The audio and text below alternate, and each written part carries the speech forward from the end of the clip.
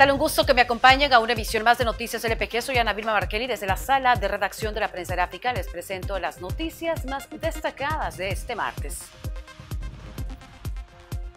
Un subinspector y un agente de la Policía Nacional Civil destacados en Cuscatlán fallecieron la madrugada de este 24 de diciembre luego de un intercambio de disparos. El hecho ocurrió sobre la calle principal de la colonia Las Colinas de Cojutepeque, cerca de la División de Investigaciones de la Policía Nacional Civil. La información preliminar destaca que el intercambio de disparos fue con un subteniente del ejército.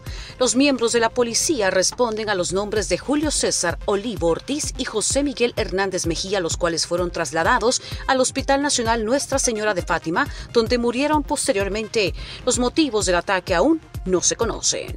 La comisionada presidencial Carolina Recinos indicó que del 15 de diciembre a la fecha se han registrado 479 accidentes de tránsito, los cuales dejaron 254 lesionados y 48 fallecidos.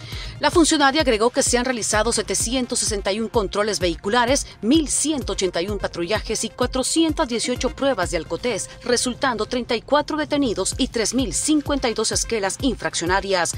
Además dijo que a la fecha se contabilizan 22 quemados, 11 menores de edad y 11 adultos. Las autoridades reiteraron a la población que continúen cumpliendo con las medidas sanitarias y de protección, ya que en El Salvador existe un elevado riesgo de contagios por COVID-19. La División de Armas y Explosivos junto a la Subdirección de Áreas Especializadas Operativas de la Policía Nacional Civil realizaron la mañana de este jueves un operativo en los alrededores del Centro Histórico de San Salvador.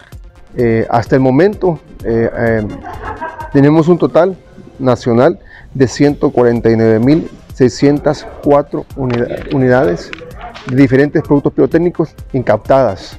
Recorrimos alrededor de unas 10 cuadras en todo el centro histórico y además el día de ayer en, en Ciudad Delgado pues realizamos un operativo en seis diferentes fábricas de productos pirotécnicos incaptando eh, una cantidad bastante considerada de productos pirotécnicos y la Dirección General de Protección Civil emitió un aviso de precaución sobre la frecuencia de sismos al sureste de San Miguel. El informe fue publicado la noche del miércoles y explica la generación de una serie de sismos localizados aproximadamente a 17 kilómetros al sureste de la ciudad de San Miguel y a 14 kilómetros al noreste de Chirilagua en dicho departamento. Según el ministro de Medio Ambiente, Fernando López, hasta el jueves se han registrado 16 sismos, de los cuales 8 han sido sentidos por la población. Hasta el no se han reportado daños personales, materiales ni estructurales, de acuerdo al monitoreo realizado por técnicos de la dirección. Gracias por haberme acompañado a una emisión más de Noticias LPG. Los espero mañana para compartirles más información como siempre. Hasta pronto.